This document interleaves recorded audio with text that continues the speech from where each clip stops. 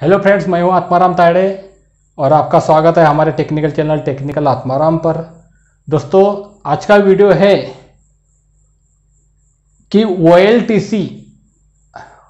मतलब on load tap changer transformer के कौन सी साइड में लगा हुआ रहता है। इंटरेस्टिंग क्वेश्चन है दोस्तों और ये इसमें बहुत से लोग कंफ्यूज होते हैं। सिंपल है बट बहुत से लोग कंफ्यूज होते हैं। अगर दोस्तों इस वीडियो को समझना है आपको तो शुरू से इन तक पूरा देखिए। हालाँकि छोटा ही वीडियो है इजी समझ जाएँगे आप।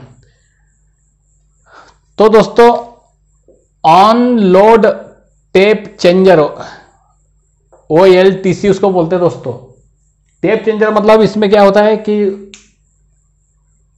वोल्टेज कितना देना है उसके हिसाब से, वो उसके हिसाब से उसके ऊपर, जैसे फ़ैन रहता है दोस्तों कितने स्पीड पे घुमाना है? हम उसको रेगुलेटर को घुमाते हैं, कम स्पीड करते हैं, दो पे करते हैं, तीन पे करते हैं, पंखा की स्पीड बढ़ाती है, कम करना हो स्पीड तो उसको तीन पे करते हैं, दो पे करते हैं, एक पे करते हैं। वही फ़र्क ओ में दोस्तों, इसमें भी स्पीड मतलब वोल्टेज कम ज़्यादा करने के लिए ये ओ लगा हुआ रहता है दोस्तों। समझ गए? ज़्यादा वोल्टेज चाहिए तो ओ का मतलब टर्न ज़्यादा बढ़ जाएगा। है ना? मतलब कुल मिला के ऑटोमेटिक रहता है ये सिस्टम मैनुअल भी रह सकता है। करते मैनुअली लोग। ठीक है? तो ये सिंपल सा मतलब ये हिंट बता दिया मैंने आपको रेगुलेटर के हिसाब से इसका हिंट है ना? वोल्टेज को कम ज़्यादा करने के लिए अपने रिक्वायर्ड के हिसाब से क्या हमको बस मेंटेन रखता है भैया, कि इतना वोल्टेज देता रहता है वो। कभी ऊपर से मतलब गवर्नमेंट की सप्लाई से वोल्टेज कम आया तो हमको इधर ये थोड़ा बढ़ा के दे देता है, क्योंकि उधर से कम आया, वो बराबर वो मेंटेन रखता है। तो ये ओ से इंपॉर्टेंट है। अब ये कौन सी साइड लगा रखा है दोस्तों? तो दोस्तों कैलकुलेशन कुछ नहीं, इसमें बस आप मैं बताए तो और आप समझ जाइए, भाई इतना ही है। ये दोस्तों, जिस साइड में, जिस साइड में कम करंट रहेगा, ये उस साइड लगा रहेगा। वोल्टेज से इसका कोई रिलेशन नहीं दोस्तों।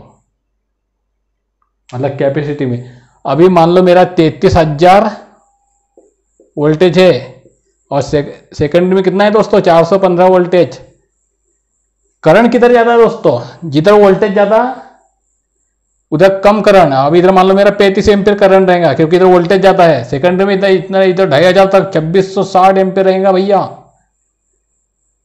एम्पियर करंट तो ये ओएलटीसी किधर लगेगा दोस्तों? जिधर कम करंट उधर लगेगा तो ये लगेगा प्राइमरी साइड ये प्राइमरी है और ये सेकेंडरी साइड है। मतलब जिधर कम करंट किधर भी लग सकता है। इधर कम करंट रहता तो इधर लगता।